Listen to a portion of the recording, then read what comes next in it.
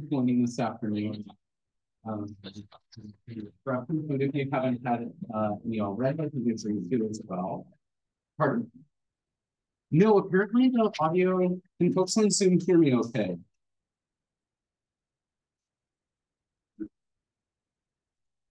We're good? Excellent. Okay, perfect.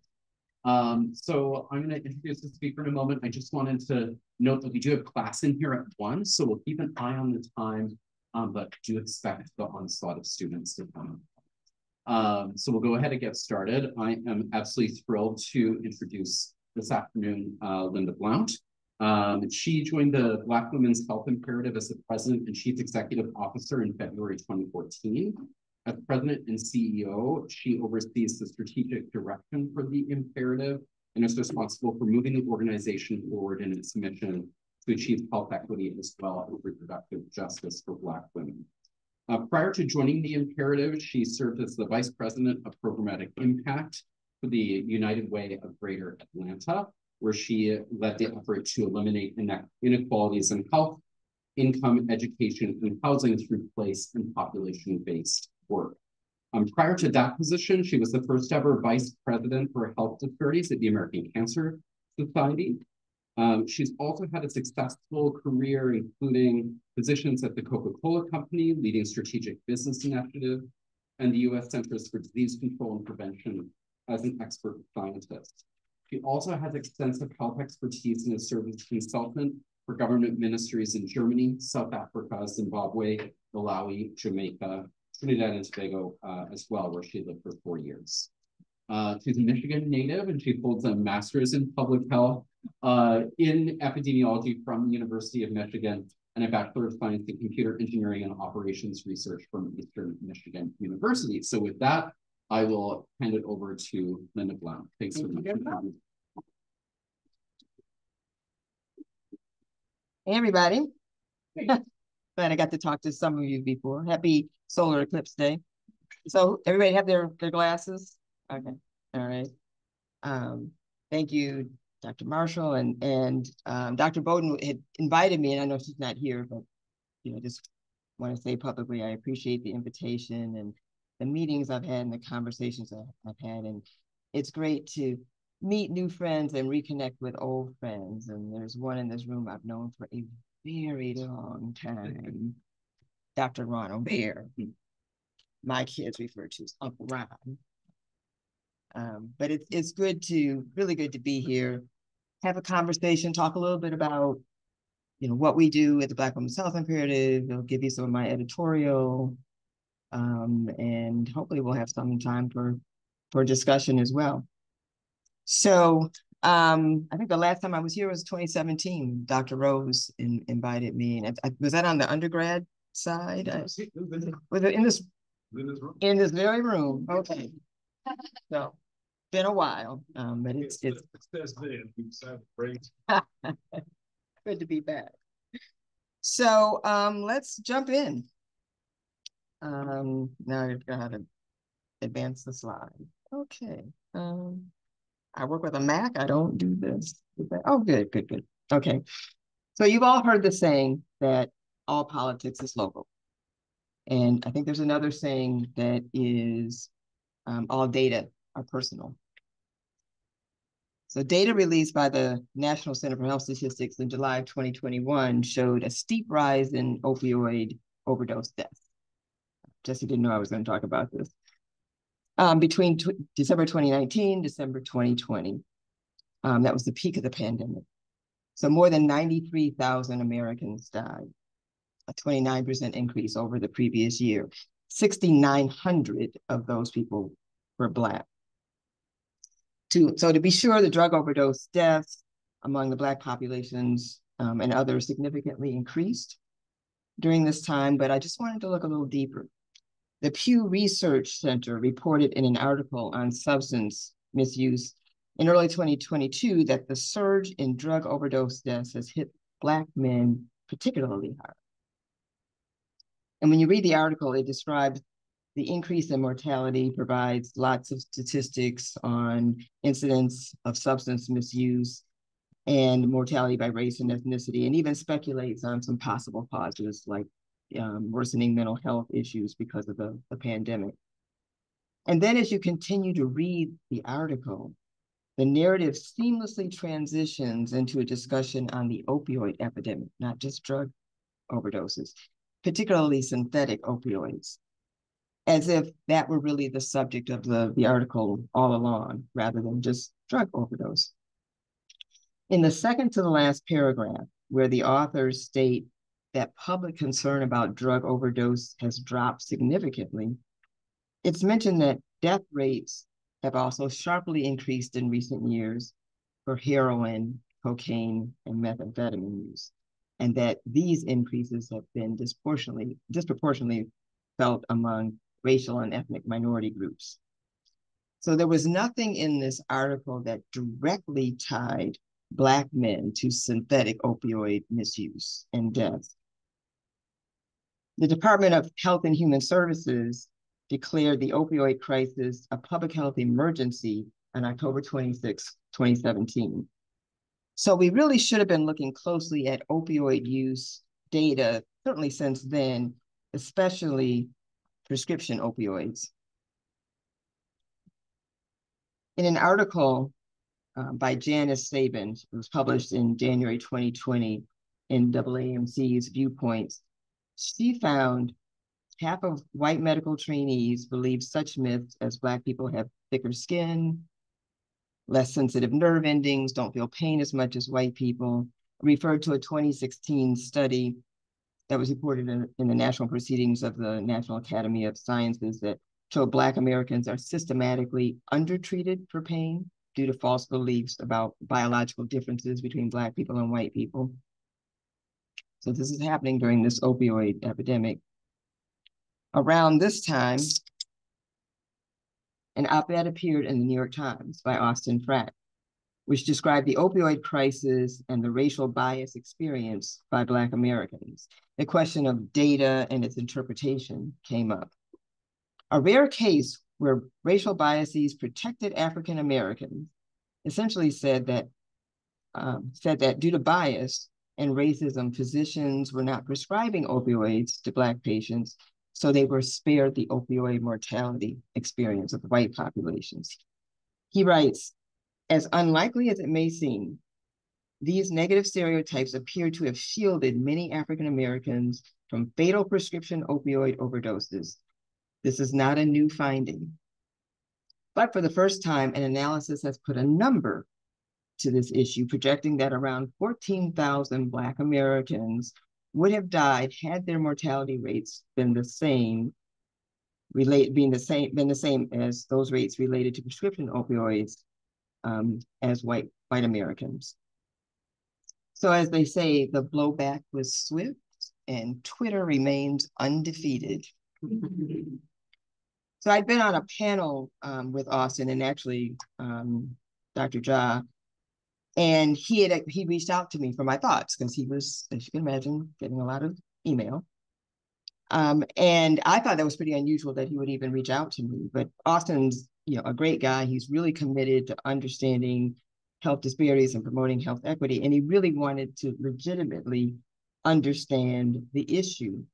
So a revision was published a few weeks later. And in it, he wrote, outside of research, routine medical practice continues to treat Black and white patients differently.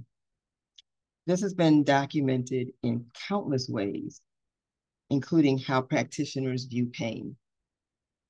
Racial bias in healthcare and overprescription of opioid painkillers accidentally spared some African Americans from the level of mortality from opioid medication, medications observed in white Americans. And then he quoted me. While African Americans may not have died at similar rates from opioid misuse, we can be sure needless suffering and perhaps even death occurred because provider racism prevented them from receiving appropriate care and pain medication. The fact that we don't count these instances means we will never know how much harm has occurred. So how we collect and use and report data and sometimes how we omit it or even make it up can give very misleading impressions of an entire population. It can affect how care is delivered, how programs are delivered, and how policies are enacted. 40 years ago, the Black Women's Health Imperative uh, was founded on Spelman's campus. Anybody from Spelman? Thank you. um, where Byllye Avery brought 2,000 of her closest friends together to talk about self-care in a time when Black women couldn't necessarily count on getting good care from, from the system, be it the education system, the economic system, the hospital system, the political system.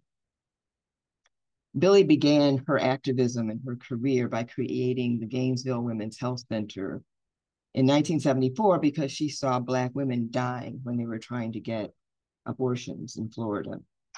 And so for more than 50 years, she's been fighting for reproductive rights and justice. She's been fighting for Black women's health. And she is still an active co-conspirator today. She is, I talk to her two or three times a week. She's still on the scene and I'm still trying to keep up. So our mission and vision is pretty simple. Um, we really aim to ensure that Black women get the standard of care reliably, and that when we say programs or policies or care are evidence-based, they have reason to believe that they were part of the creation of that evidence and it actually applies to them. And all of our work is really built on a justice framework. So we've got a few strategic priorities. Um, since I've been on board, we have invested over $25 million in community-based organizations to, to do work, to try to get closer to health equity. So we're focused on wellness, chronic disease prevention, obesity-related conditions, uh, maternal health, reproductive justice, HIV.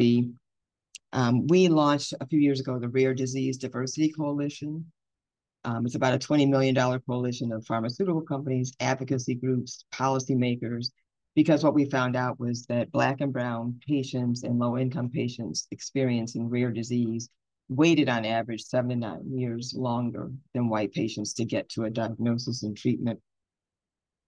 And all of our work is undergirded by policy. Um, every election cycle, we produce Black Women Vote, a policy agenda, which outlines key issues for the election and why they matter to, to Black women. And then there's this checklist for where candidates um, stand on these issues. We're a 501c3, so we can't advocate for any candidate, but we give this agenda and the checklist to get out the vote folks so they can talk to their folks about where their candidates stand on the issues. So we all bring something to our work. What I bring is a certain my mother would say attitude and disregard for convention, which I've had a very long time. Um, and I also bring a focus on research and data and science and actually getting to the truth, actually solving the problem, because I believe we actually do know what, what the issues are and how to solve them. So I'm from a small town, Jackson, Michigan. I think there's one person in the room that's heard of Jackson, Michigan. Jesse who's also from a small town in Michigan. Um, the birthplace of the Republican Party, home to the largest walled prison in the world. And there are signs. Um, Jackson is sort of halfway between Detroit and Chicago along I-94. And if you get 50 miles outside of Jackson on either side, there are signs that say prison area, do not pick up hitchhikers. And they mean it, or at least when I was there. Um, but probably what's been most impactful for my public health career in, in many respects has been the seven years that I spent at a an organization that's in the carbonated sugar water business. So what I realized at Coke, even though I was not in marketing, um, was that Coke had a product to sell, not beverages. Coke was selling experiences. Their product was your life will be so much better and cooler if you drink Coke. Well, we too in public health have a product to mm-hmm. sell. You know, it's health. It's public health. And I frankly think we do a lousy job of selling it. We come to our work and our products from that we're selling from the perspective of it's the right thing to do. you should want to be healthy. You should want to eat right. You should want to get physical activity. And we offer research programs and policies that will help you do just that. All you have to do is do it. That seems to be our message.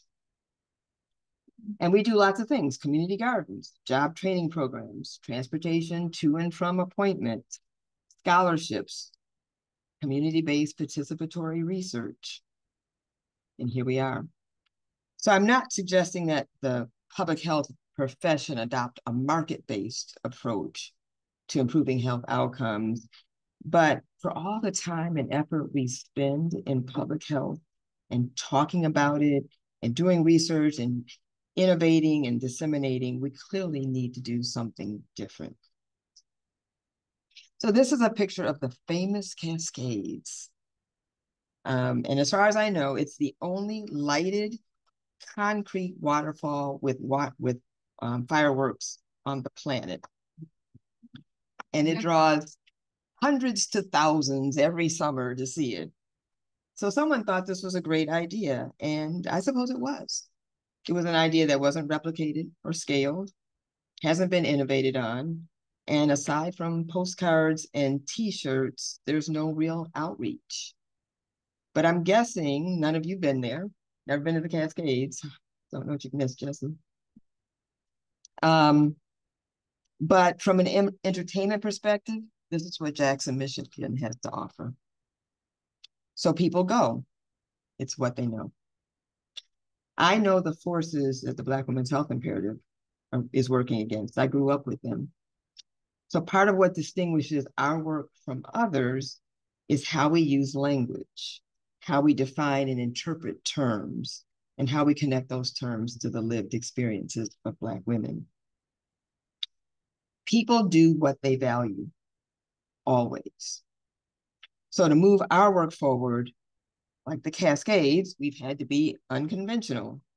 We've had to understand what's valuable to people whose hands are on the levers of power, whose hands are on the levers of funding, whose hands are on the levers of policy, what's valuable to them, and how do we make what we're selling more valuable to them and the impact that they currently get from the status quo. So our product can be replicated, hopefully, and scaled and go beyond t-shirts to real change. So when I started at the Black Women's Health Imperative, I, I had to learn about how people were using some pretty common terms. So what these terms mean and how they're used really depends on people's perspectives, their values, their politics, maybe even hope. Um, and these definitions have certainly changed over time. Um, diversity, when it first came about in the mid 60s, you know, um, came on the heels of civil rights, of voting rights. And it essentially was this thing that white, heterosexual, cisgendered men did to or for people who were not that. So at the end of the day, everybody was aggrieved. Now we say, we talk about the business case of, of DEI and, and the, the return on investment for DEI. But even if this is the case, you all have heard the new term for DEI, the new definition. Didn't earn it. Um, that movement has made it clear that the business case isn't the driver. In 2016, there was a study in the Harvard Business Review that found that five years after DEI training, companies were actually less diverse because there's a backlash to it. In 1985, health disparities became a common term. And disparities are just differences, but people really meant differences that shouldn't exist. And people have always seemed to confuse diversity and disparities. When I was at the Cancer Society, I was in health disparities, but I was always confused with the chief diversity officer, who, who was Black and male six two, about 250 pounds. But people always got us confused for, for some reason. Um, we were constantly trying to explain to people what we did. Briefly in, in sort of the mid late 80s, we talked about health equality, but then that was thrown out because what people heard was, oh, you want to make the health outcomes of the white population worse to be closer to the black population. So we, we stopped using that term. And I just want to mention a couple of others. Um, intersectionality. Kim Crenshaw coined this term in the late 80s, where we were talking about health, reproductive health in particular. And she said, but that can't happen outside of a justice framework. You can't, we can't just advocate for rights because of Black women don't even have those rights.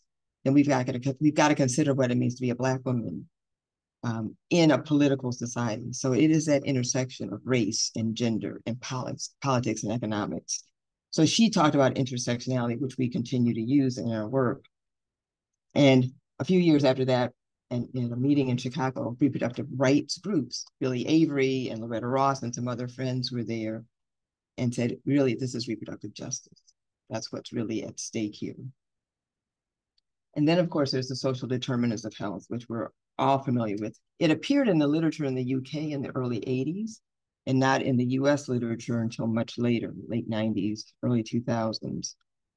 And of course, we were going to address all of this and fix all the ills of the issues of equity through cultural competency training.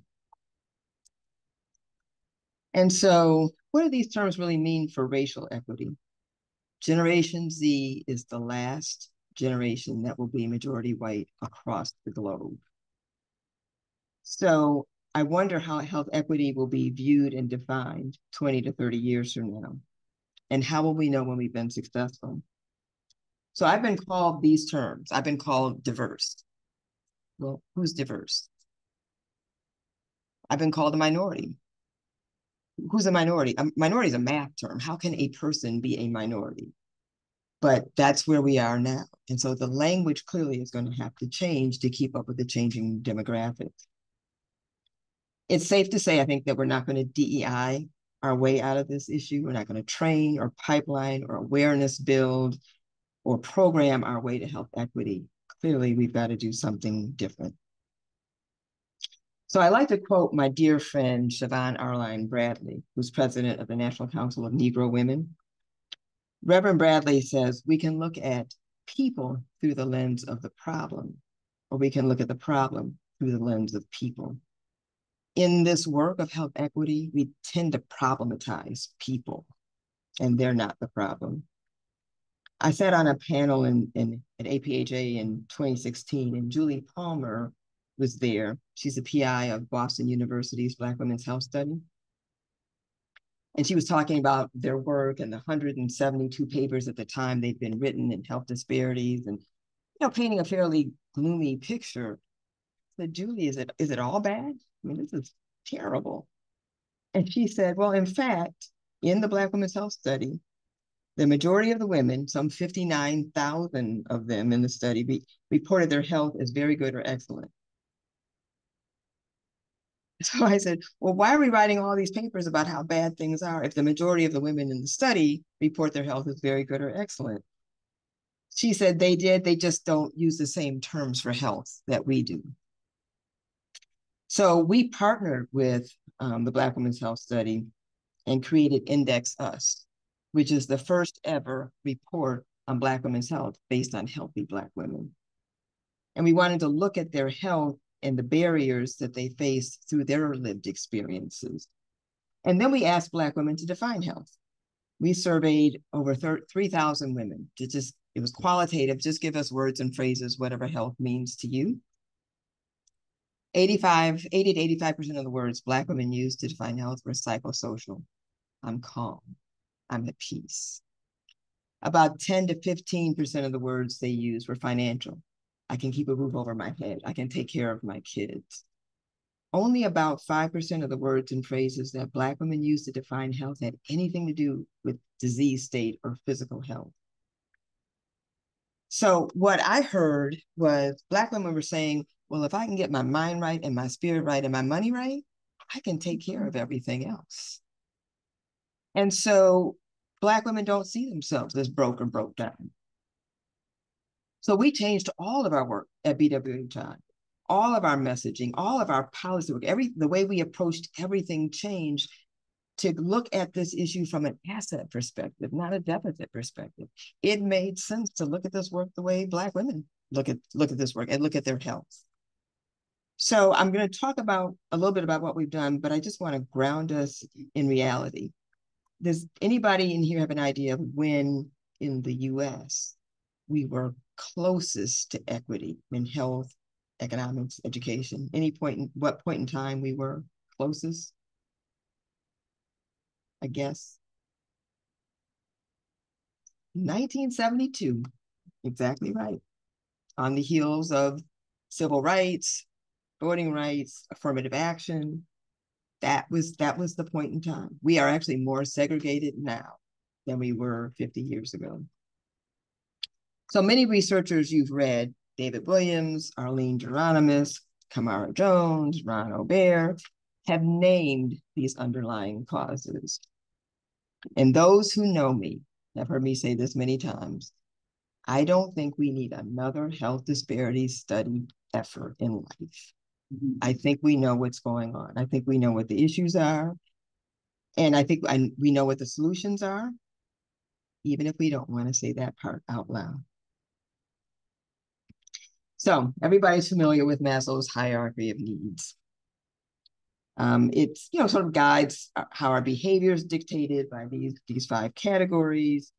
And it was really in part an explanation for what motivates people and a tool that we could actually use in systems and policies so that we might move to a more civil or equitable society. So he talks about our basic needs, food and water, security and safety, our psychological needs, relationships and connections, feelings of accomplishment, and ultimately that leads to self-fulfillment, being able to, to achieve um, our full potential.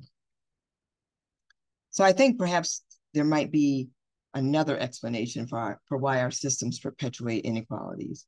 And I think it's a more realistic hierarchy of needs, um, which I call they. So when we look at basic needs, they feel like I have enough and they don't have more than I do. They are unseen and I don't have to interact with them except maybe to get my basic needs met. And as we move up to psychological needs, I live and work around people who think like me, look like me, agree with me, and they aren't taking opportunities from me.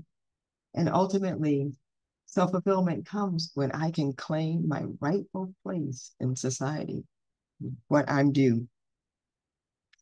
It's indeed, I think, an explanation for what motivates people. And it is a tool for developing systems and policies that perpetuate inequalities in our society. And we know, or we should all know, that inequalities are absolutely in the eye of the beholder. So even though I'm an epidemiologist, there won't be a whole lot of data. But I just wanted to show this chart. We're used to hearing the statistic of Black women having a 40, 40 to 42% higher mortality rate from breast cancers compared to white women. So we go to the Wayback Machine in 1981, 82, both incidence and mortality rates were about the same. And then they began to change. What happened in 1983? We learned to detect breast cancer, we learned to treat it.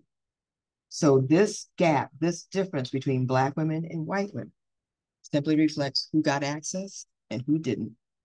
There's no biologic or genetic explanation for a 40% gap in mortality rates. So the U.S. Preventive Services Task Force makes recommendations for screening guidelines. And in 2015, I don't expect you all to read that, but they made recommendations to raise the age of screening mammography from 40 to 50. And they also said mammography should be every other year.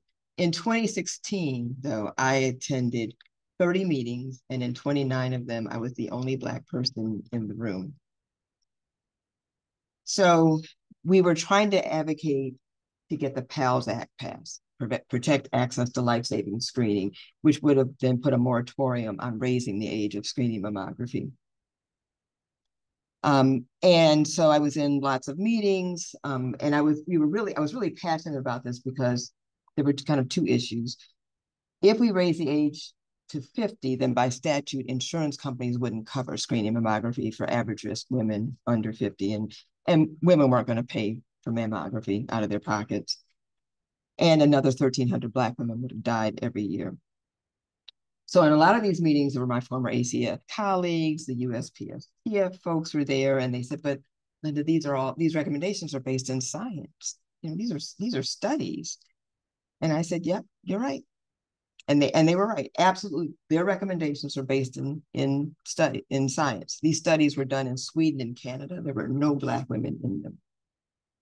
So since we know Black women get breast cancer on average five to seven years younger than white women, why would we wait to start looking for breast cancer?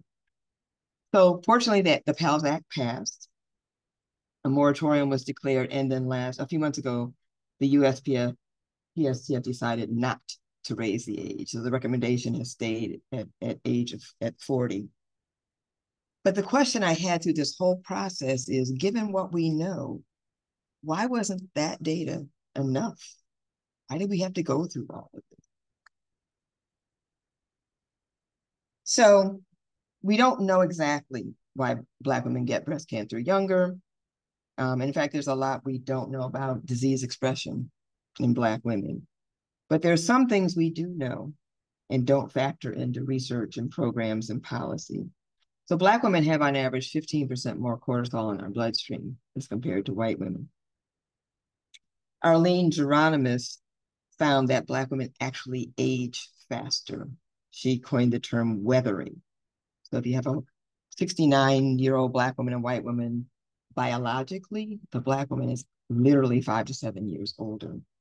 Tené Lewis, who's at Emory, found that the telomeres in Black women were shorter and more frayed.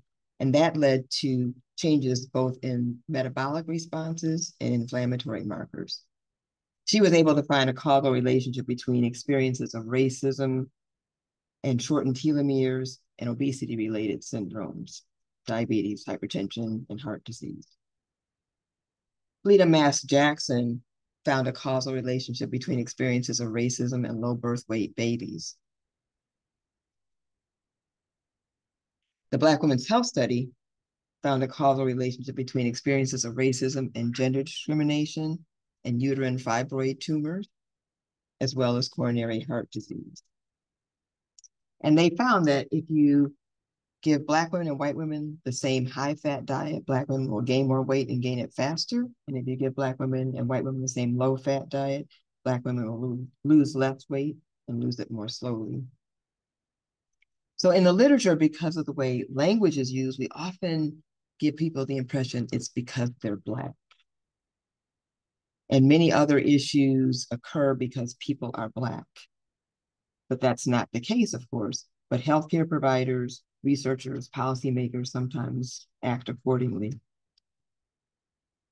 So race is not a risk factor. It's a social construct, it's a political construct. Racism is a risk factor. Gender discrimination is a risk factor. Income inequality is a risk factor at the Black Women's Health Imperative, we've done some modeling um, and to, you know, just go along with a little magical thinking. If we could tomorrow eliminate racism and gender discrimination, then a few things would happen. The poverty rate would could be cut by as much as 90%. Those of us who earn wages would see about a 20 to 30% increase in our pay corporate earnings could increase 15 to 20%.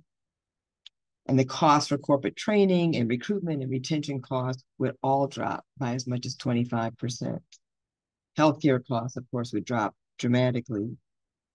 Um, but the fundamental issue to making all of that happen is that power would need to be shared. So how can we really hope to improve the health of a population if we're not acknowledging and working to actually get to and solve the root cause of the problem. A few years ago, um, we, Black Women's Health Imperative, we invited some women to participate in some focus groups um, in the DMV area, DC, Maryland, Virginia.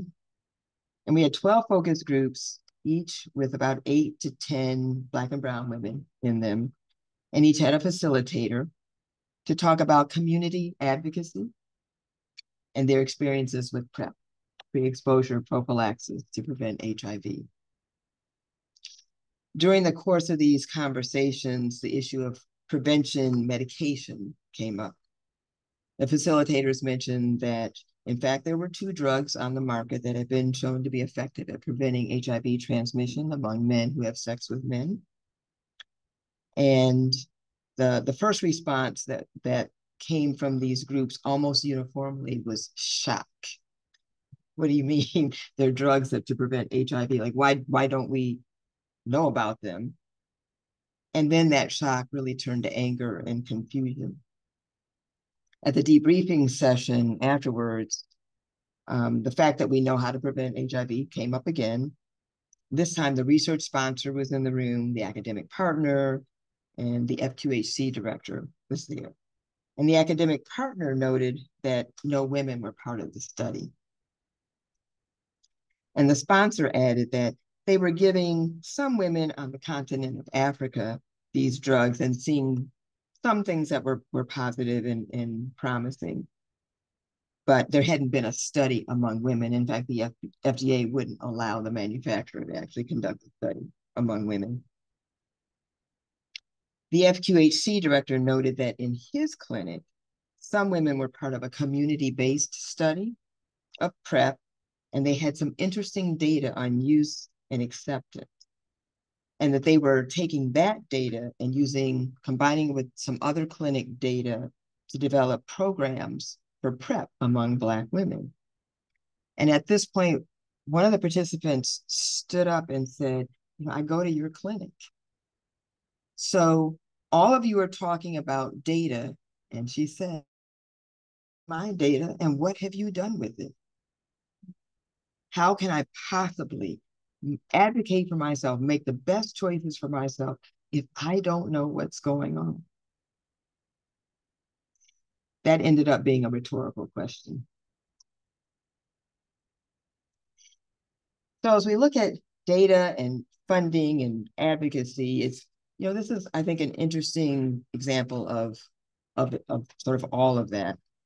There are 30,000 people living with cystic fibrosis in the US, um, and about 100,000 people living with sickle cell disease in the US. The total funding for cystic fibrosis is seven times that of sickle cell disease, and at a per person level, the delta is about 27x. Cystic fibrosis advocacy groups are very active. They're on the Hill pleading for funding. They go to academic meetings and present. They write, they're organized, and they are largely white. People living with sickle cell disease are mostly Black. And there are sickle cell disease advocacy groups, and they, they do advocate, but they have nowhere near the resources of the cystic fibrosis folks. So I want you to know that advocacy is a luxury. It takes time. It takes money it takes connections to really be able to advocate. And researchers and policymakers and physicians even sometimes get the impression that Black and Brown people aren't as interested in research or interested in curing diseases because they don't see them advocating in a way that they're that they're used to. They are interested, they have jobs. They've got to they've got to get things done. They don't have that luxury of time and money so I just want to make sure that we don't mistake lack of advocacy for apathy, because that's not the case. But sometimes advocacy doesn't really work. A few years ago, I collaborated with some folks out of Santa Clara University and Virginia Commonwealth on um, a paper that looked at bias in the algorithms, the machine learning language of an electronic health records scheduling system. A very famous system that almost all hospitals use. Um, and we found that the system actually, the, the machine learning, the algorithms actually were double and triple booking Black patients. So naturally, I went to the manufacturer. I went to the CEO, the chief technology officer, the CHRO, the CFO, the CMO. I went to everybody. Hey, look, here's what we found. I mean, what are you guys going to do about this? I am still waiting on a response. Nobody would even respond with, you know, hey, that's that's we're proud of our system. We stand by our system. I got no response from anybody. And of course, our next study is to find out what happens to these patients because they leave. So do, do they then show up back at the emergency department with advanced disease? Do the, you know, our mortality rates higher? We don't know, but we're going to do that next. But I'm not sure who the developers consulted with when they created this algorithm. Um, I don't know who participated in user acceptance testing. I don't know where they got their data from, who provided it, but it would appear not enough Black people were, and it really does matter. So COVID, COVID taught us that. We saw that pulse oximeters don't work as well, or then didn't work as well on people with dark skin. I was at LaGuardia yesterday, couldn't get the water to come on. I had to ask the white woman next to me, could you wave your hand there so I can wash my hands? I mean, still we're having these same these same issues. Um, dexamethasone turned out not to be as effective on Black people with severe, severe disease. In 2014, the state of Hawaii sued Bristol Myers Squibb and Sanofi, um, the manufacturers of Pla Plavix, accusing them of deceptive marketing um, because they didn't disclose that the drug actually wasn't as effective for some patients of East Asian and Pacific Islander descent. One out of five people diagnosed with multiple myeloma in the US is Black. And Black people are more are twice as likely as white Americans to be diagnosed with it. Yet of the 722 participants in the study, only 13 were Black. And the percentage of Black and Brown patients in clinical trials really hasn't changed in 20 or 30 years. You know, it's still 4% or so. So how do we make progress? If what becomes evidence depends on who's asking the question, who they're asking, what questions they're asking, maybe even who's funding the research. You know, how do we actually get to health equity? So I do want to make mention briefly of medical mistrust, that came up a lot during COVID, but it continues to be uh, in the literature. And all the talk about clinical trials um, participation and participation in research by Black and Brown patients or community members, we should note the most cited reason that Black people give, and Black women in particular give for not participating in research is they're not asked.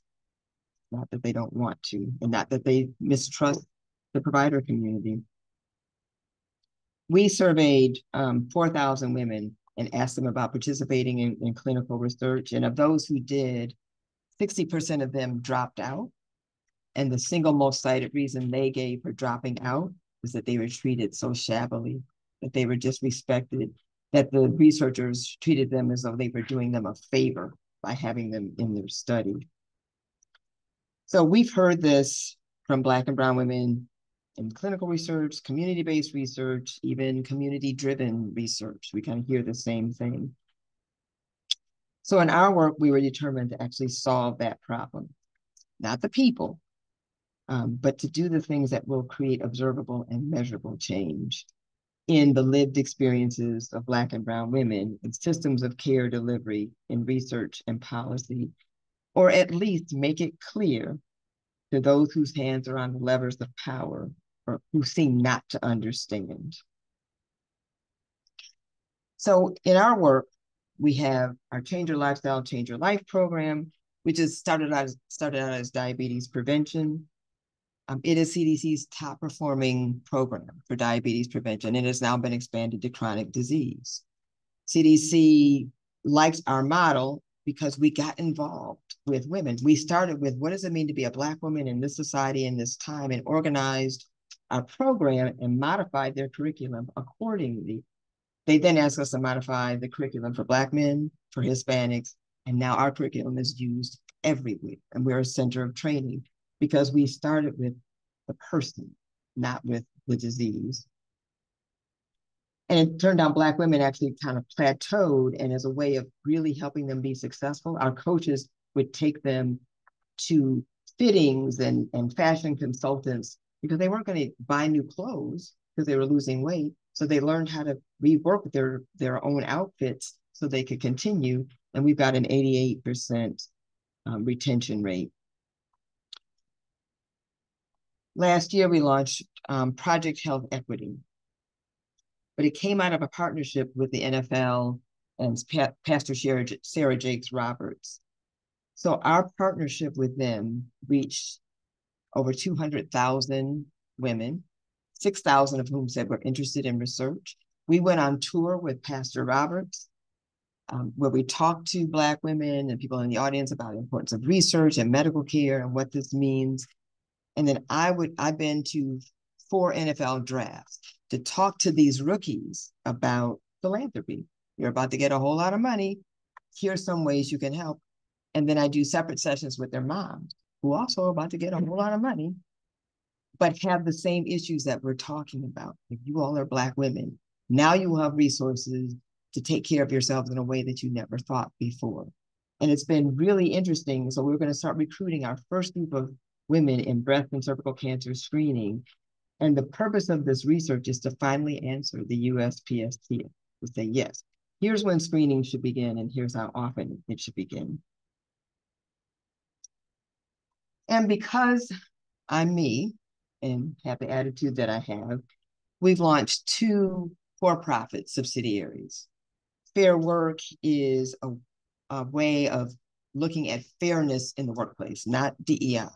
So we've got an AI tool that will look at 400 metrics and produce an index of fairness that we can tie to employee health, but also corporate metrics and, and cost reduction, top and bottom line revenue um, you know, the index will actually give leaders a sense of how fair their organizations are, but importantly, why that matters. And this year we will launch this organization with a terrible name, but Clinical Resource Optimization and Acceleration. But essentially it's it's doing the work that CROs don't do, doing the, the work rather that researchers don't want to do or can't do. But We'll, you'll, we'll deal with bias in design. So we'll use a tool that will actually de-risk clinical trial design, research design for bias, and look at the experience of patients of color, low-income patients, and rural patients in clinical research so that they will get a better outcome, but also to inform the researchers so that they can do a better job and stop treating people like they're doing them a favor. So I created these two for-profit businesses really for two main reasons. One, the philanthropic industrial complex can be tough to navigate. And two, I don't want to have to depend on the kindness of strangers to keep the doors open. It would be great if I could say to everyone, here's our strategic objectives, fund that, instead of having funders sometimes tell us what they want to fund. My name is John. I appreciate what we do for this neighborhood. Your pizza is making a difference. Well, thank you, John. You know, when we opened, we were just a small shop with a simple mission to right, right. Listen, I represent a large institution, and we're interested in buying a significant number of your pizzas. Okay, well, our cheese pizzas are ten dollars. Right. I've done some number crunching and determined that we're going to need 10 per month, and I can pay $8 per pie. Oh, and I'll need them to be Sicilian. Oh, but the Sicilian pies are more expensive. That won't cover my costs. I'm concerned about the impact on quality of that price. And, you know, my reputation is at stake. Of course. I mean, I'm sure there's plenty of other pizza places around here. I mean, it's okay. You know what? I've got an oven that's been on the fritz, and maybe the steady business will help pay for repairs. Oh, I love that help with that. But 100% of what we give to you must be spent on ingredients. What you want to do is fill out the paperwork, okay? Make any of the stipulated adjustments to your business model, and then after few site visits and several payment should start rolling. Here on page 47, okay? Your chef will either have to been nominated for a James Beard Award. Mm-hmm. Consume pizza. The James Beard Award. Huh? Most of my cooks can't even drink beer.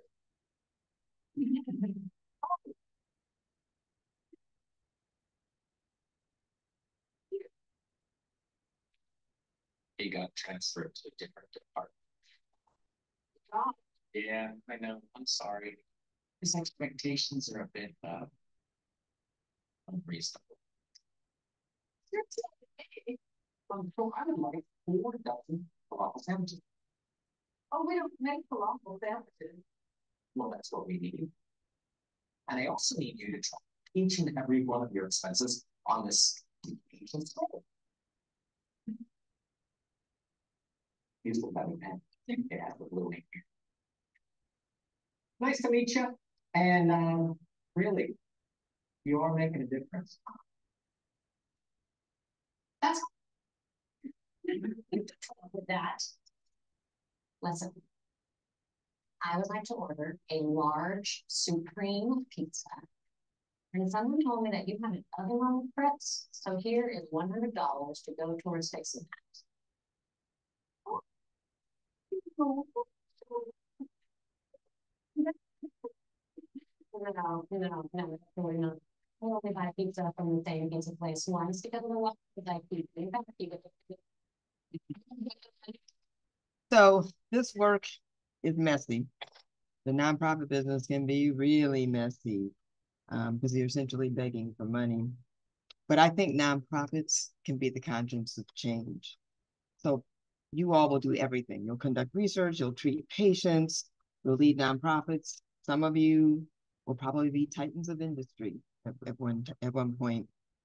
Um, we definitely need data to tell the story, but we should never tell the story of data. Data are personal. So at Black Women's Health Imperative, we tried to use data in a way to make people and help people see their connection to solutions, um, to progress, to observable and measurable change. At the height of COVID, I had so many people come to me and say, racism, health disparities, oh my, they're related. Oh, who, who knew all of this? So in this work at this time, I really have no illusions about being able to make anybody do anything. But by looking at data, using data and reporting it in a way that actually honors the people who are providing it, I think we can do one thing. I think we can cure ignorance. Thank you.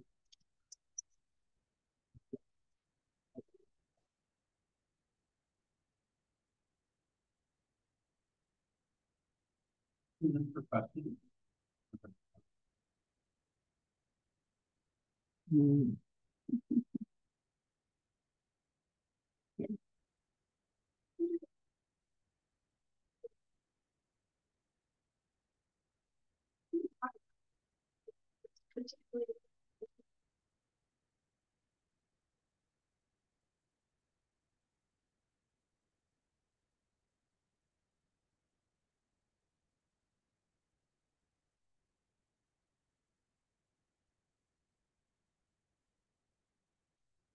Using data for accountability. Yeah, sounds great. Like a great idea. Um, you know, there are maternal mortality review committees. Not not all states have them. I think maybe 30 states do. So that data have been fed back to hospital systems to say, you know, here are issues, you know, with resources or care delivery. These people didn't get the standard of care, these folks did. And it what you're saying makes sense in a system where people actually really want to do better and are sort of balancing care and dollars and, and other issues. So far, it hasn't been enough of a driver to get major change because there's always an explanation. For you know, every hospital leader you talk to says, well, in this case, it was this, it was that. We it's really not because we're not providing the best care. So we're going to have to come up with a way of accountability differently. I think there should be HEDIS measures around maternal outcomes because I believe personally, if providers and healthcare systems leaders feel like they're not going to be reimbursed every time they let a Black woman die, they'll figure out how to listen to her because they better have the money. So I don't know that accountability will come from doing the right thing, but it may come from wanting to stay in business.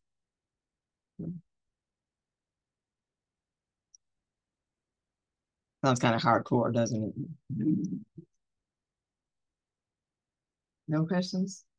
Well, thank you all very much.